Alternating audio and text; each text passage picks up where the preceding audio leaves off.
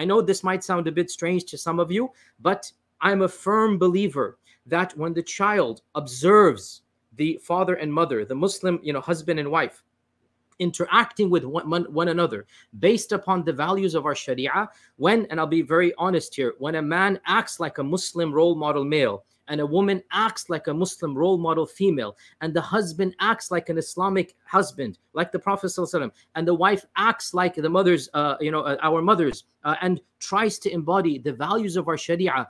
Personally, I believe that this is the number one practical mechanism to instill in your child the man is not like the woman we firmly believe that there are two genders and we firmly believe that these two genders are separate and distinct and they do have uh, identities and they do have roles that are different from one another. If the child doesn't see this in their own household if the mother and father are not acting in accordance with these teachings then you know subhanallah don't be surprised if later on they don't understand the distinction between the male and the female. And again, on a very personal anecdote, one of my children, at a very young age, came to me, you know, having seen something that, you know, on their uh, um, uh, uh, uh, friends, I don't know what it was, and, you know, asking this question about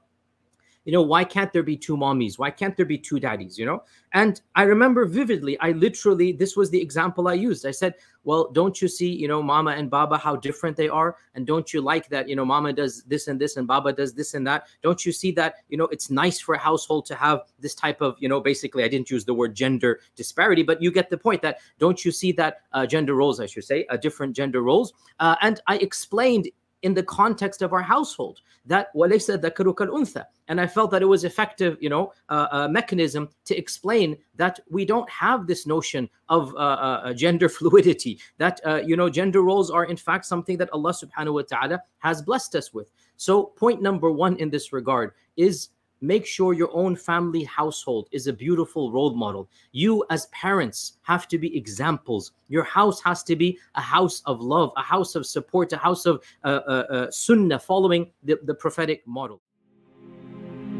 فيا ذلي ويا خجلي إذا ما قال لي ربي أما استحييته تعصيني ولا تخشى من العتب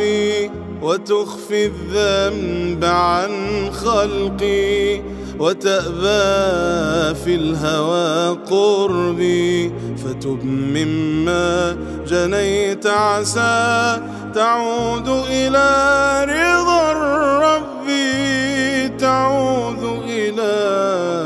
رضا ربي